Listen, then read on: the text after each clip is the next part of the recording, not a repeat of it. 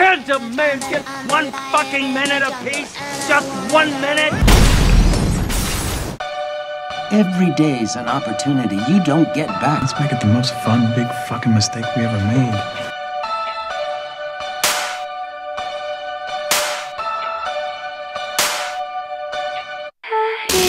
You're headed for a serious career. What if I go back to the house? Hold on a minute. How many you fucking need me? Staying here. That's something I could do for those kids in a big way. I'm worried about you. I love you. There's always gonna be people that are gonna try and fix us. You should never apologize for being you. You still love me. You have to let me let you go.